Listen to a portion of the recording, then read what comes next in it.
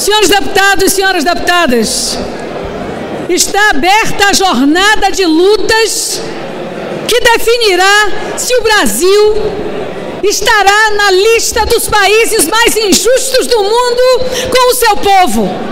Não é possível que troquemos nesta casa qualquer benesse que uma parte desta casa troque por emendas ou por, por cargos a garantia mínima alimentar para que o trabalhador e a trabalhadora, ao encarar a velhice, ao encarar a doença, ao ter perdido o provedor ou a provedora da família, ele seja efetivamente humilhado, injustiçado por uma reforma fiscalista regressiva dos direitos e que fará do trabalhador e da trabalhadora alguém sem futuro, alguém sem perspectiva.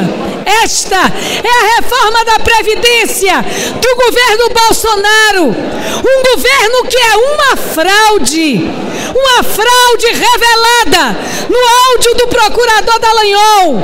Uma fraude revelada nos textos que o The Intercept Brasil mostra para todo mundo. Quando o fake news, o controle de dados, engana a nação brasileira, que com sede de mudança, em função de uma campanha sórdida, que levou o impeachment de uma presidenta honesta, eleita, faz uma jornada de contração democrática e leva o povo a este engano, pois este governo que é uma fraude é que propõe esta reforma da Previdência.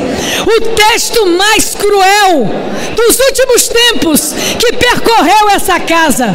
Um texto que punibiliza os mais pobres, as mulheres, em especial as mulheres negras, e me dirijo às mulheres baianas, às lavadeiras, às empregadas domésticas, às professoras.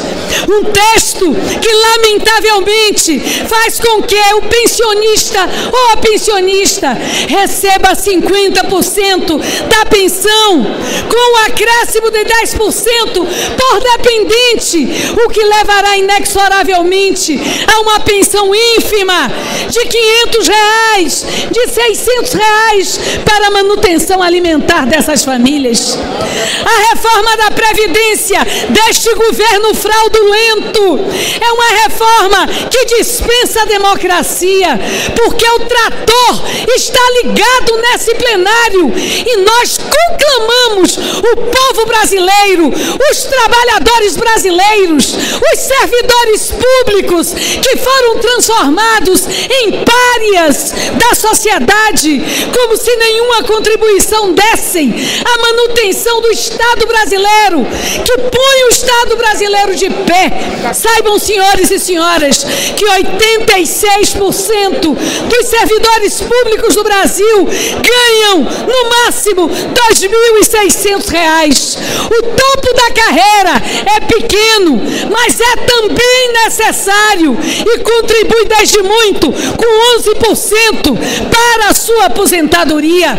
A reforma dos servidores já foi feita em 2003 e agora querem fazer com que o servidor, ao se aposentar, se desligue do serviço público para a garantia da não paridade, da não integralidade. E os policiais, rodoviários federais, federais, civis, só as Forças Armadas foram garantidas por um governo militarizado, autoritário, conservador dos costumes e absolutamente ultraliberal da economia. Vocês vão votar contra as viúvas e os órfãos.